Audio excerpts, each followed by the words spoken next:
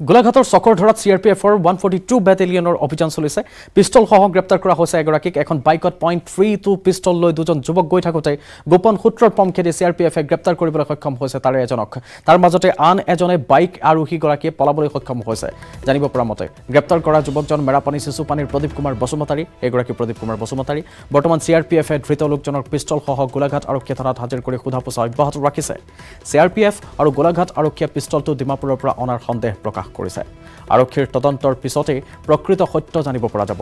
ধৃত প্ৰদীপ কুমাৰ বসুমতাৰীয়ে জানিবলৈ দিয়া মতে শিৱসাগৰৰ মেজেঙাৰ ৰাহুল হুছেইন নামৰ এজন লোকে দুই লাখ টকাত বিক্ৰী কৰিবলৈ আনিছিল এই পিষ্টলটো। এয়া পিষ্টল দেখুৱাইছোঁ আৰু সেয়া বসুমতাৰী যাক গ্ৰেপ্তাৰ কৰা হৈছে। গোলাঘাটৰ চকুৰ ধৰাত চি আৰ পি এফৰ ওৱান ফৰ্টি টু বেটেলিয়নৰ অভিযানত গ্ৰেপ্তাৰ কৰা হৈছে। আৰু পইণ্ট থ্ৰী টু পিষ্টল লৈ গৈছিল দুগৰাকী বাইকত আৰু এগৰাকীক ধৰিবলৈ সক্ষম হৈছে আনগৰাকী পলাই যাবলৈ সক্ষম হৈছে। আৰু গ্ৰেপ্তাৰ কৰা যুৱকজন Merapani চিচুপানীৰ Pradip Kumar Basumatary. C R P এফে ধৃত লোককেইজনক পিষ্টলসহ গোলাঘাট আৰক্ষী থানাত হাজিৰ কৰি সোধা পইচা সম্প্ৰতি অব্যাহত ৰাখিছে। মই নিজে অনা নাই কোনে আনিছিলে? এই কেশৱ বৰ্মন বুলি কোৱাটো আনি দিছে ক'ৰ পৰা আনিছে সেইটো। বিকিবলৈ আপোনাক লগাইছিলে? অঁ, বিকিবলৈ মোক লগাই দিছে। আপুনি কেনেকৈ গম পালে? সেইটো মানুহ যে আম লয় বুলি শিৱসাগৰ। কোনে? শিৱসাগৰ পাৰ্টিকৈ সি তেখেতে মোক মোক লাগে লাগে বুলি কৈ খুজি থাকে। সেইটো কাৰণে জবৰদস্ত খুজি পেলাই মোক আনাই দে না ওলাই দে বুলি কোৱা কাৰণে আনিছিলোঁ।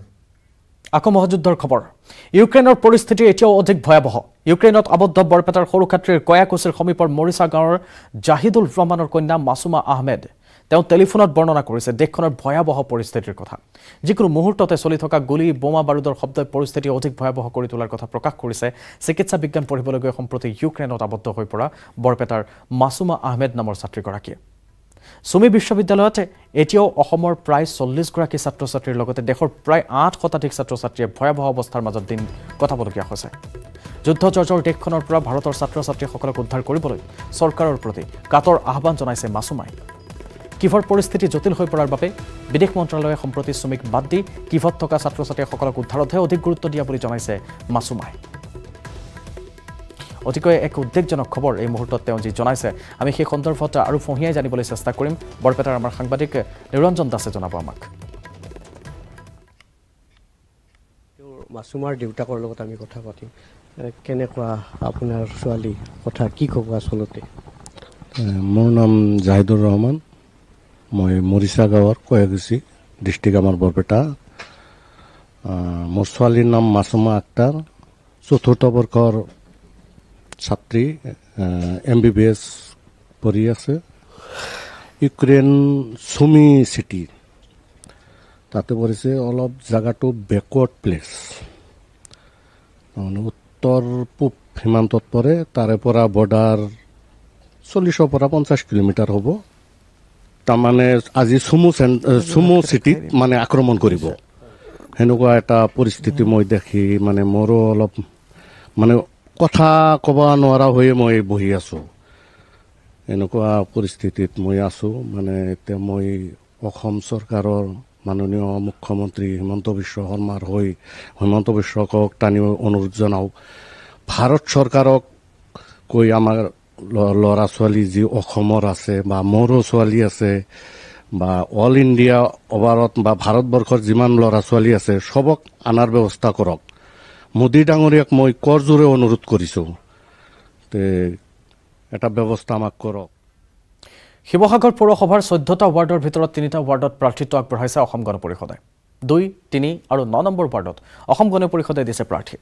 এই আটাইকেইটা ৱাৰ্ড দখলৰ লক্ষ্যৰে বুধবাৰে সন্ধিয়ালৈকে নিৰ্বাচনী প্ৰচাৰ চলাইছে। স্বাস্থ্যমন্ত্ৰী কেশৱ মহন্তই তেওঁ নিৰ্বাচনী প্ৰচাৰ চলাইছে। বিজেপি অগপৰ মিত্ৰজোঁটে এইবাৰ শিৱসাগৰ পৌৰসভা গঠন কৰাটো এশ শতাংশ নিশ্চিত বুলি তেওঁ দাবী কৰিছে। ইয়াৰ উপৰিও স্বাস্থ্য খণ্ডৰ সন্দৰ্ভতো মন্তব্য আগবঢ়ায় কেশৱ মহন্তই অচিৰে স্বাস্থ্য খণ্ডত ছহাজাৰ পদত নিযুক্তি দিয়া হ'ব বুলি উল্লেখ কৰাৰ লগতে চিকিৎসা মহাবিদ্যালয় বৃদ্ধি হোৱাৰ ফলত অহা বছৰৰ পৰা বছৰি এঘাৰশকৈ চিকিৎসকে লাভ কৰিব পৰা হ'ব বুলিও সদৰি কৰিছে মন্ত্ৰীগৰাকীয়ে। কৰোঁ বা যি কি নহওক। ইয়াৰ পাছত আৰু খুৰচিদ আৰফিন মাইনৰিটি মৰ্চাৰ সাধাৰণ সম্পাদক। আমি তেখেতক আদৰণি জনাবৰ বাবে অনুৰোধ জনাইছোঁ। অনুৰোধ জনালোঁ। ইয়াৰ পাছতে উন্নয়ন হ'বলৈ হ'লে ৱাৰ্ডৰ উন্নয়ন হ'ব লাগিব সেয়েহে আপোনালোকৰো মানে বি- ভাৰতীয় জনতা পাৰ্টীৰ সভাপতি মণ্ডলৰ সভাপতি প্ৰণজ্যোতি বৰুৱাই কালিৰ পৰা মোক কৈছে যে ডাঙৰীয়া শামছেদ আলী ডাঙৰীয়া সুশান্ত দত্ত ডাঙৰীয়া যুৱ পৰিষদৰ সভাপতি। যুৱ পৰিষদৰ পিঠিটো যাতে ৰৈ থাকিবলৈ পালে বহুখিনি অসুবিধা হয় আমি অনুভৱ কৰোঁ বা যি কি নহওক। ইয়াৰ হ'ল খুৰচিদ আৰফিন মাইনৰিটি মৰ্চাৰ সাধাৰণ সম্পাদক। আমি তেখেতক আদৰণি জনাবৰ বাবে অনুৰোধ জনাইছোঁ। অনুৰোধ জনালোঁ। আৰু স্বাস্থ্যমন্ত্ৰীগৰাকীক দেখিবলৈ পোৱা গৈছে কেশৱ মহন্তক তাতে গৈ তেওঁলোক প্ৰচাৰ অভিযান চলাইছে। স্বাস্থ্যমন্ত্ৰীগৰাকীয়ে শিৱসাগৰ পৌৰসভাৰ চৈধ্যটা ৱাৰ্ডৰ ভিতৰত তিনিটা ৱাৰ্ডত প্ৰাৰ্থীত্ব আগবঢ়াইছে যিহেতু অসম গণ পৰিষদে। আৰু দুই তিনি আৰু ন নম্বৰ ৱাৰ্ডত অসম গণ পৰিষদে প্ৰাৰ্থিত্ব দিছে। আৰু এই আটাইকেইটা ৱাৰ্ড দখলৰ লক্ষ্যৰে বুধবাৰে সন্ধিয়ালৈকে নিৰ্বাচনী প্ৰচাৰ চলাইছে এইদৰে স্বাস্থ্যমন্ত্ৰী কেশৱ মহন্তই। আৰু এই মুহূৰ্তত আমি সংযুক্ত হ'ব বিচাৰিম শিৱসাগৰৰ সাংবাদিক প্ৰদীপ গগৈৰ সৈতে পোনপটীয়া সম্প্ৰচাৰত প্ৰদীপ গগৈ স্বাস্থ্যমন্ত্ৰীগৰাকীয়ে নিৰ্বাচনী প্ৰচাৰ চলাইছে সন্ধিয়ালৈকে চলাইছে। আৰু এতিয়া আপোনাৰ হাতত শেহতীয়া কি কি তথ্য আছে? আজি কেনেকৈ ধৰণে প্ৰচাৰ অভিযান চলিব? হয় কালি কালি হয় আমি দেখুৱালোঁ যে সন্ধিয়ালৈকে যোৱা নিশা বিজেপি আৰু অগপৰ মিত্ৰজোঁটে শিৱসাগৰৰ তিনিটা যি অগপৰে ৱাৰ্ড আছিলে অগপৰে প্ৰাৰ্থিত্ব আগবঢ়াইছে দুই নম্বৰ তিনি নম্বৰ আৰু ন নম্বৰ ৱাৰ্ডত প্ৰচাৰ চলালে আৰু সমান্তৰালভাৱে অন্যান্য ৰাজনৈতিক দলেও ব্যাপক প্ৰচাৰ চলাইছে। মই বৰ্তমান উপস্থিত আছোঁ শিৱসাগৰৰ চৈধ্য নম্বৰ ৱাৰ্ডত যিটো ৱাৰ্ডত ইয়াত অখিল গগৈয়ে তেওঁলোকৰ প্ৰাৰ্থী আগবঢ়াইছে আৰু অখিল গগৈ ইয়াত নিজেই ঘৰে ঘৰে গৈ প্ৰচাৰ পত্ৰিকা বিতৰণ কৰিছে প্ৰচাৰ চলাইছে। ইয়াত দেখি দেখিছে তেওঁলোকে ঘৰে ঘৰে এই আহি প্ৰচাৰ চলাইছে। আৰু এইটো ৱাৰ্ডত প্ৰায় তিনি হেজাৰ তিনি হেজাৰ তিনিশ নিৰান্নব্বৈটা ভোট আছে এই চৈধ্য নম্বৰ ৱাৰ্ডত। বিজে বিগত সময়ছোৱাত এই ৱাৰ্ডটোত হেৰি ইয়াৰ এই ৱাৰ্ডটোত বেলেগৰ দখলত আছিলে। এইবাৰ ৰাইজৰ দলে ইয়াত প্ৰথমবাৰৰ বাবে প্ৰাৰ্থিত্ব আগবঢ়াইছে। ইয়াত পোনপ্ৰথমে মই অখিল গগৈক চমুকে জানিব বিচাৰিম কি ধৰণে আগবাঢ়িছে। নহয় মই চৈধ্য নম্বৰ ৱাৰ্ডত মই নিজে থাকোঁ। যিহেতু এইখন গাঁৱতে মই থাকোঁ এইটো ৱাৰ্ডতে মই থাকোঁ গতিকে ওচৰৰ পাজৰৰ মানুহখিনিৰ লগত চিনাকি হ'বৰ কাৰণে আৰু তেখেতসকলৰ লগত মত বিনিময় কৰিবৰ কাৰণে ঘৰে ঘৰে আহিছিলোঁ। আহ, প্ৰত্যেকৰ ঘৰতে এবাৰ সোমাইছোঁ সোমাই তেখেতসকলক এই সময়খিনিত মইনো বিধায়ক হিচাপে কি কি কাম কৰিছিলোঁ সেইবিলাক সম্পৰ্কে আলোচনা কৰিছোঁ। তেখেতসকলক তাৰ এটা এটা কপি দিছোঁ যে এই সময়খিনিৰ ভিতৰত কৰা কাম কাজৰ খতিয়ান এটা দাঙি ধৰিছোঁ আৰু লগতে আমাৰ প্ৰতীক চিহ্ন বিহুৰ ঢোল এই চিহ্নত ভোট দিবৰ কাৰণে আমি অনুৰোধ জনাইছোঁ। পৌৰসভাত। হয় আৰু ইয়াত স্থানীয় যিহেতু বাসিন্দা আছে আপোনালোকৰ এইটো চৈধ্য নম্বৰত পৰে। এইটো চৈধ্য। নম্বৰ ৱাৰ্ড কি কি সমস্যাত জৰ্জৰিত হৈ আছে? আৰু প্ৰাৰ্থীৰ পৰা যিজন প্ৰাৰ্থী ইয়াত কেনেধৰণৰ প্ৰাৰ্থী হোৱাটো বিচাৰে? ইয়াতে নিশা নিশা হোৱাটো বিচাৰোঁ আমি। আৰু ইয়াতে আমাৰ পানী যোগান বা অন্য ষ্ট্ৰীট লাইটো এইবোৰ প্ৰদীপ গগৈ আমি অখিল গগৈৰ পৰা এটা কথা জানিব বিচাৰিম। যিহেতু মুখ্যমন্ত্ৰীগৰাকীয়েও নিৰ্বাচনী প্ৰচাৰ চলাব আজি মাজুলীত তেওঁ কালি গৈ তাতে নিৰ্বাচনী প্ৰচাৰ চলাইছিল। তাৰপিছত তেওঁ কি ক'ব বিচাৰে? মাজুলীৰ দখললৈ অনাৰ ক্ষেত্ৰত ওপৰজুপুৰি এতিয়া চেষ্টা অব্যাহত ৰাখিছে বিজেপিয়ে। এইবিলাক সুবিধাবোৰ আমি পাব লাগে আৰু হয় আৰু অখিল গগৈ যিহেতু আমি পাইছোঁ ৰাইজৰ দলৰ সভাপতি দায়িত্বটো আছে। তেওঁৰ পৰা জানিব বিচাৰিম যে এ, মাজুলীতো এক উপনিৰ্বাচনৰ ঢৌ তুংগত আৰু মাত্ৰ দুই এদিন বাকী আছে মাজুলীতো আছে। তাত মুখ্যমন্ত্ৰীয়েও প্ৰচাৰ চলাইছেগৈ। এই মুহূৰ্তত কি ক'ব? আপুনিও গৈছিলে এদিনৰ আগতে। হয় হয়। কালি মাজুলীলৈ গৈছিলোঁ আৰু মাজুলীত আমি আটাইকেইটা বিৰোধী দল অসম জাতীয় পৰিষদ ৰাইজৰ দল আৰু কংগ্ৰেছ তিনিওটা বিৰোধী দলে ঐক্যবদ্ধভাৱে আমি প্ৰাৰ্থিত্ব আগবঢ়াইছোঁ। আমি আহ্বান জনাইছোঁ যে মাজুলীত এটা পৰিৱৰ্তন হোৱা দৰকাৰ। আপোনালোকে সকলোৱে জানে যে মাজুলী হ'ল অসমীয়া জাতিৰ সাংস্কৃতিক আৰু ধৰ্মীয় পৃষ্ঠভূমি। আহ, তাৰ পৰাই আমি ভাবোঁ যে সাম্প্ৰদায়িক যি ৰাজনীতি দেশত চলি আছে বিজেপিৰ যি সাম্প্ৰদায়িকতাবাদ আৰু ফেচিবাদ সেই সাম্প্ৰদায়িক ফেচিবাদক যাতে প্ৰতিহত কৰিব পাৰে আৰু তাৰ বাণী যাতে মাজুলীৰ পৰাই আৰম্ভ হয় সেইকাৰণে আমি মাজুলীবাসী ৰাইজক কাইলৈ অনু কালি অনুৰোধ কৰিম দুগৰাকী মন্ত্ৰীয়ে শিৱসাগৰত মাৰাথান প্ৰচাৰ চলাই গ'ল কেশৱ মহন্ত আৰু বিমল বৰাই। দুয়োগৰাকীয়ে এটা কথা কৈছে মাজুলীত বিৰোধী প্ৰায় নাই ধূলিচাত হৈ যাব। মই সেইটো নাজানো কিন্তু আপুনি চাওক যে হাতেদি বিজেপিৰ যিগৰাকী প্ৰাৰ্থী তেওঁ এগৰাকী অত্যন্ত দুৰ্নীতিপৰায়ণ প্ৰাৰ্থী আৰু তেওঁ মুখেৰে মাতি মাতিব নাজানে হা? কথাই ক'ব নাজানে। বিধায়ক হিচাপে তেওঁ কি দায়িত্ব পালন কৰিব? আৰু তাৰ আগতেই তেওঁ বিধায়ক হোৱাৰ আগতেই বহুত কেলেংকাৰীত জড়িত। গতিকে মই আশা কৰিম যে মাজুলীবাসী ৰাইজে পৰিৱৰ্তন আনিব। মাজুলীবাসী মানুহে বিশেষকৈ বিৰোধী শক্তিবিলাকৰ যি ঐক্যবদ্ধ এটা প্ৰচেষ্টা চলিছে তাৰ সাৰ পানী যোগান ধৰিব। মাজুলীবাসী ৰাইজে নিশ্চয় এটা সঠিক সিদ্ধান্ত গ্ৰহণ কৰিব। আমাৰ চৈধ্য নম্বৰ ৱাৰ্ডটোত মই নিজে আজিকালি থাকোঁ মই আপোনাক কৈছোঁৱেই। আৰু পৌৰসভা নিৰ্বাচনত আমি ঘৰে ঘৰে গৈ মই নিজে যিমানখিনি পাৰিছোঁ যিহেতু মই নিজে ইয়াত থাকি লওঁ গতিকে সকলোকে অনুৰোধ কৰিছোঁ আৰু সকলোকে মই এটাই বস্তু কৈছোঁ যে বিধায়ক হিচাপে যিখিনি কাম কৰিছোঁ তাৰ এখন খতিয়ান দাঙি ধৰিছোঁ। আপোনালোকে নিজে পঢ়ি চাবলৈ দিছোঁ যে আপোনালোকে পঢ়ি চাওক সঁচা কথা কৈছোঁ নে মিছা কথা কৈছোঁ। আৰু দ্বিতীয়তে যদি এই কাম কাজত যদি সন্তুষ্ট হৈছে তেতিয়াহ'লে আপোনালোকে আমাক সমৰ্থন কৰক। যোৱাবাৰ যিখন পৌৰসভা সকলোৱে জানে যে সেই পৌৰসভাখন খুব দুৰ্নীতিপৰায়ণ আছিলে। তাতোতকৈ ডাঙৰ কথা যে পৌৰসভাত এটা কাম কৰিবলৈ গ'লে মানে দহ দিন বাৰ দিন গৈ থাকিব লাগে গৈ থাকিব লাগে যেতিয়ালৈকে ঘোচ নিদিয়ে তেতিয়ালৈকে কাম নকৰে বিজেপি পৌৰসভাখনে। তো মানে শিৱসাগৰবাসী ৰাইজৰ কথা আছিলে যে যোৱা সময়খিনিত যিমানখন পৌৰসভা গঠন হ'ল যোৱাবাৰ বিজেপিৰ পৌৰসভাখনেই ৱৰ্ষ্ট পৌৰসভা আছিলে। গতিকে এই মুহূৰ্তত আমি সকলো মানুহকে অনুৰোধ কৰিবলৈ আহিছোঁ যে আহক আমি এখন এখন সততাৰ এখন সততাৰে কাম কৰিব পৰা এখন পৌৰসভা গঠন কৰোঁ। সেইকাৰণে এনেকৈ ঘৰে ঘৰে আহি সকলোকে অনুৰোধ কৰিছোঁ। কিমানগৰাকী এয়া প্ৰাৰ্থিত্ব আগবঢ়াইছিলে আৰু সকলোখিনি জিকিব বুলি তেওঁলোকে আশাবাদী নে তেওঁলোকৰ কৰ্মৰ খতিয়ান লৈ পেলাই তেওঁলোকে কেনেধৰণে দৃঢ় আশাবাদী শিৱসাগৰখনক লৈ অখিল গগৈ সেইখিনি কথা যদি তেওঁৰ পৰা জানিব বিচাৰোঁ। হয়। হয় হয় কৃপাঞ্জল ইয়াত শিৱসাগৰৰ চৈধ্যটা ৱাৰ্ডৰ ভিতৰত তেৰটা ৱাৰ্ডেই ইয়াত ৰাইজৰ দলে প্ৰাৰ্থিত্ব আগবঢ়াইছে আৰু এটা দল তেওঁ নিৰ্দলীয় প্ৰাৰ্থী নিৰ্দলীয় প্ৰাৰ্থীক তেওঁলোকে সমৰ্থন জনাইছে। প্ৰথমবাৰৰ বাবে যিহেতু ইয়াত নিৰ্বাচনত অৱতীৰ্ণ হৈছে তেৰটা ৱাৰ্ডতেই আপোনালোকে দিছে। ইয়াৰ ভিতৰত কিমানখন আসনৰ আশা কৰে? আমি আচলতে চৈধ্যটা ৱাৰ্ডতে দিছোঁ। এটাত আমাৰ জাতীয় সংগঠনবিলাকৰ পৰা এজন প্ৰাৰ্থী দিছে পাঁচ নম্বৰ ৱাৰ্ডত। বাকী তেৰটাতে আমাৰ ৰাইজৰ দলৰ পৰা পোনপটীয়াকৈ প্ৰাৰ্থিত্ব প্ৰদান কৰিছোঁ। তো ইয়াৰ ভিতৰত আমি ভাবোঁ যে প্ৰায় আটাইবিলাকেই এইবাৰ ৰাইজৰ দলে জয়লাভ কৰাটো সম্ভৱ হৈ উঠিছে। যিহেতু যোৱা সময়খিনিত বিজেপি দলৰ যি পৌৰসভা আছিলে সেই পৌৰসভাই একেবাৰে ফাংচন কৰিব নোৱাৰিলে।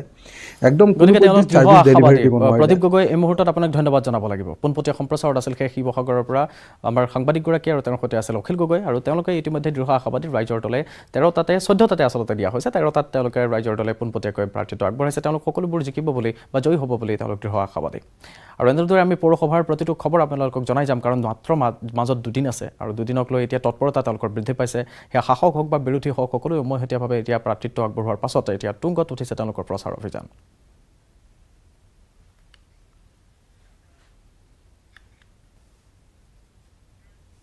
স্বাগতম লাইভ আৱাৰৰ শেষ অংশলৈ। পৌৰসভা নিৰ্বাচনলৈ মাজত মাত্ৰ দুদিন বাকী। আমি দেখুৱাইছোঁ ৰাজ্যৰ ভিন্ন প্ৰান্তত কেনেধৰণে প্ৰস্তুতি চলিছে। ইতিমধ্যে ৰাজ্যত তীব্ৰতৰ হৈছে সেই পৰিস্থিতি। ৱাৰ্ডে ৱাৰ্ডে ঘৰে ঘৰে গৈ প্ৰচাৰ অভিযান শাসক বিৰোধীয়ে চলাইছে। বিভিন্ন কৌশল অৱলম্বন কৰিছে ভোটাৰ ৰাজ্যক আকৰ্ষণৰ তেওঁলোকে আপ্ৰাণ চেষ্টা চলাইছে। আৰু এই সন্দৰ্ভত আমি শিৱসাগৰৰ পৰা আমি দেখুৱালোঁ কেনেধৰণে তেওঁলোকে আগবাঢ়িছিল। আৰু এতিয়া আমি দেখুৱাবলৈ চেষ্টা কৰিম ভাৰতীয় জনতা পাৰ্টী কি ধৰণে সষ্টম হৈছে ৰহা পৌৰসভাত কেনেধৰণে সষ্টম হৈছে তেওঁলোকে সমৰ্থকসকলক লগত লৈ সাত নং ৱাৰ্ডৰ ঘৰে ঘৰে গৈ ব্যৱসায়িক প্ৰতিষ্ঠানসমূহত প্ৰচাৰ অভিযান চলাইছে প্ৰাৰ্থী সাধনী দাসে।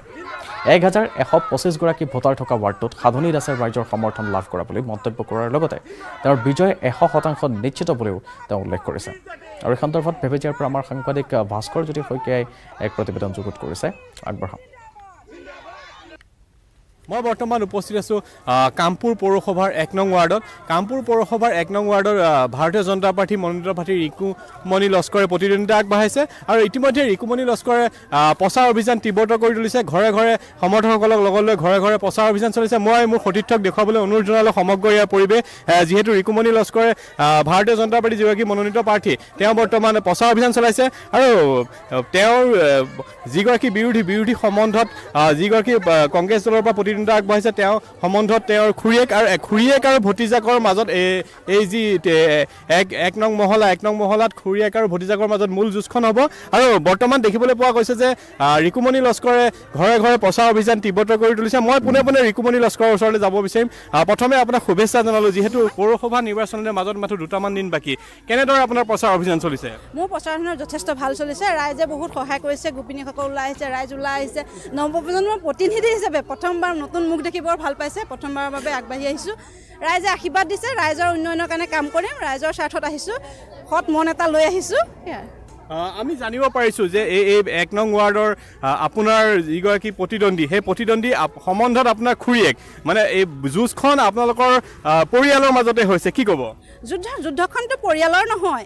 ৰাজনীতিক ক্ষেত্ৰপথে ৰাজনীতিক ক্ষেত্ৰপথে সকলোৱে সকলো সাৰ্বভৌমত্ব অধিকাৰ আছে সকলোৱে সকলো ধৰণে ব্যৱহাৰ কৰিব পাৰে। মই আহিছোঁ খুৰীও আছে সমাজ আমাৰ পৰিয়াল সম্বন্ধ হিচাপে খুৰী খুৰী ঠিকে আছে। আমাৰ সম্বন্ধ ঠিকে আছে আমি পলিটিকেল লাইনত বেলেগ ধৰণে আহিছোঁ। চবৰে নীতি আদৰ্শ বেলেগ বেলেগ মোৰো নীতি আদৰ্শ বেলেগ তেখেতৰ নীতি আদৰ্শ চবেই চবৰ নীতি আদৰ্শ সন্মান কৰোঁ সহযোগ কৰোঁ সেয়াই আৰু। আপোনাৰ ইয়াতে ৱাৰ্ডটোত ভোটাৰ কিমান আছে? মোৰটোত ভোটাৰ আঠশ সাতসত্তৰজন। বৰ্তমান আপুনি ঘৰে ঘৰে যি প্ৰচাৰ অভিযান চলাই আহিছে সেই প্ৰচাৰ অভিযান আৰু কেনেধৰণৰ সঁহাৰি পাইছে প্ৰচাৰ অভিযানত ৰাইজৰ পৰা? প্ৰচাৰ অভিযানত সঁহাৰি বিপুল ধৰণৰ বিপুলভাৱে আহিছে ৰাইজ ওলাই আহিছে মোৰ লগত বহুত ভাল লাগিছে গোপিনীসকল ৰাইজসকল দেখিছে পিছফালে বহুত গোপিনী ৰখি আছে সকলো আহিছে নৱপ্ৰজন্মৰ প্ৰতিনিধি হিচাপে বেছি ভাল পাইছে যেন লাগিছে আমাৰো কাম কৰা উদ্যমটো বাঢ়িছে। ধন্যবাদ শইকীয়া। চিপাঝাৰ পৌৰসভা এলেকাত তীব্ৰতৰ হৈ উঠিছে একেদৰে পৌৰসভা নিৰ্বাচনৰ প্ৰচাৰ। চিপাঝাৰ পৌৰসভাৰ ছয় নম্বৰ ৱাৰ্ডৰ বিজেপি দলৰ প্ৰাৰ্থী পবিত্ৰ শইকীয়াৰ হৈ প্ৰচাৰ চলাইছে। স্থানীয় বিধায়ক ডক্টৰ পৰমানন্দ ৰাজবংশীয়ে। বিহু গীত বিহু নৃত্য কৰি পদূলিয়ে পদূলিয়ে শ শ সমৰ্থকক লগত লৈ ভোট ভিক্ষা মাগিছে ছয় নম্বৰ ৱাৰ্ডৰ প্ৰাৰ্থীগৰাকীয়ে। প্ৰথমবাৰৰ বাবে অনুষ্ঠিত হোৱা চিপাঝাৰৰ পৌৰসভাৰ দহটা ৱাৰ্ডৰ আঠটা ৱাৰ্ডত বিজেপিয়ে প্ৰাৰ্থিত্ব দিয়াৰ লগতে দুটা ৱাৰ্ডত মিত্ৰদল অগপই প্ৰাৰ্থিত্ব প্ৰদান কৰিছে। আৰু এই সন্দৰ্ভত আমাক আৰু অধিক খবৰ জনাব। মঙলবাৰ সাংবাদিক নৱজ্যোতি মহন্ত।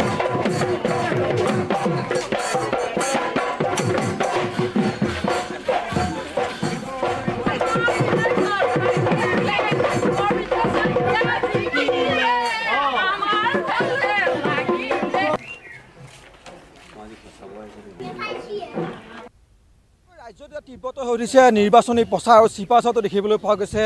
চিপাঝাৰৰ বিধায়ক ডক্টৰ পৰমা ৰাজবংশীক লগত লৈ প্ৰাৰ্থীসকলে প্ৰচাৰ অভিযান অব্যাহত ৰাখিছে। আমি দেখুৱাইছোঁ এয়া চিপাঝাৰৰ দৃশ্য। চিপাঝাৰৰ ছয় নম্বৰ ৱাৰ্ডত এই ধৰণে প্ৰচাৰ অব্যাহত ৰাখিছে বিজেপি প্ৰাৰ্থীগৰাকীয়ে। বিজেপিৰ যি প্ৰাৰ্থী ছয় নম্বৰ ৱাৰ্ডৰ প্ৰাৰ্থী পবিত্ৰ শইকীয়াই এনেদৰে ঢোলে ডগৰে ঘৰে ঘৰে হাজাৰ হাজাৰ সমৰ্থক লগত লৈ এই ধৰণে প্ৰচাৰ অভিযান অব্যাহত ৰাখিছে। আমি বিধায়কগৰাকীৰ ওচৰলৈকে যাম তাৰ পৰা জানিব বিচাৰিম কি আশা দেখিছে?